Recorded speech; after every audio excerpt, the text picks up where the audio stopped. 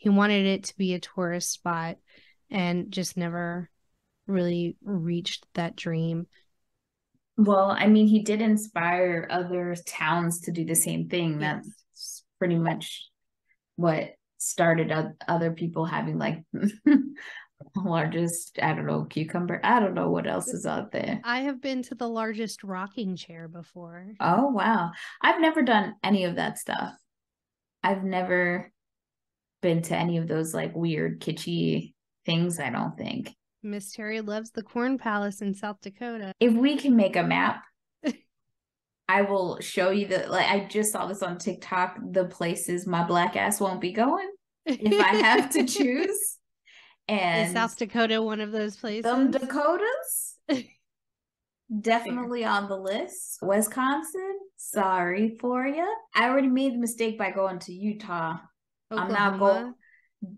Probably not. Oregon, sorry.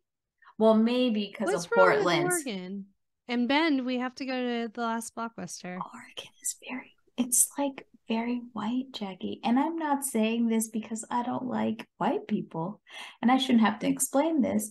But if I'm in an environment where I don't see any others and I don't just mean black, I'm a little, I'm scared. I have every right to be. I, And it's- fair. Very white, like up there. It's very What- white.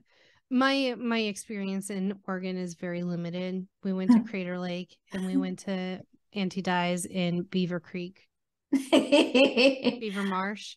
It was a creek or a marsh. but we do need to go to the to Bend. So I will retract my statement about Oregon. We will go to Oregon. I also would like to not have to go to Mississippi, Alabama. A lot of those southern states. I even side eye Louisiana as much as I like New Orleans. I could go on for days. As long as Iowa is still on your list. Oh no, absolutely not. I, I thought I covered that one with that blanket. what the fuck's in Iowa? the future birthplace of Captain James T. Kirk. They have a per, like a celebration, a week long celebration every year. That's why the you know how like there's a thing that both Ken and I will do to support you, and then there'll be things that just I will do to support you. this is the thing that just Ken is gonna go with you to support you. Okay. I I thought But maybe it, but if it's breaking and doing a B and E at the Lisa Frank factory, is that in Iowa? No, that's in Arizona. Oh, then yeah, of course, that's fine. Arizona, I've already been, so Yeah. but uh, Iowa shit. mm. The only other thing that I think would get me to go is those world fairs that they have, hmm or just the state fairs that have like the crazy food. Maybe. Dallas has one every year. Right. But I'm just saying, like, the. Midwest definitely has their foothold on that shit too. Yeah. That's the only other thing. Food is the only other thing that would make. And maybe if we were doing a No More Late Fees tour and we needed to to do a stop.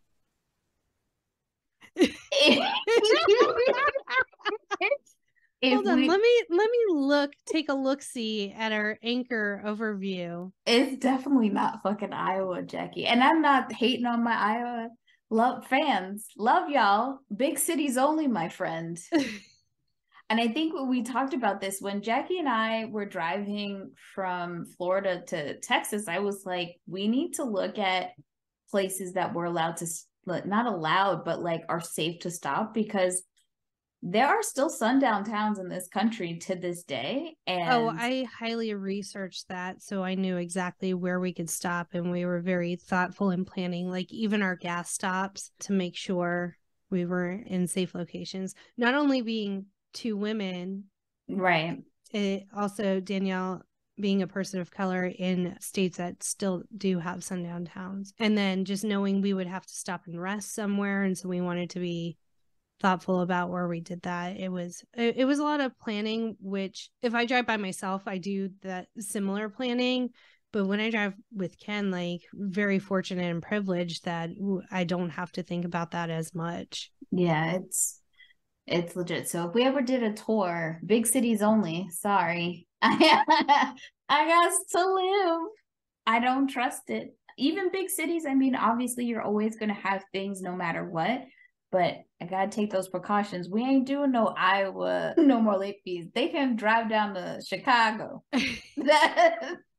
So, I mean, we do have plays in all 50 states, but I will say the Dakotas, very bottom of the list. Mm. So we don't have to worry about that. Idaho is pretty far down there, Utah, Yeah.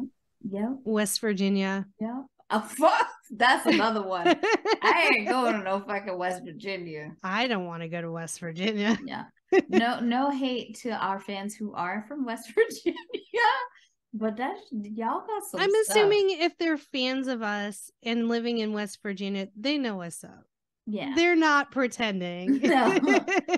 But if look at read the top states, so top the states cities. are I'm sorry, whichever states. Sorry. states Texas, California, Florida, New York, and then Washington State. Right. Right.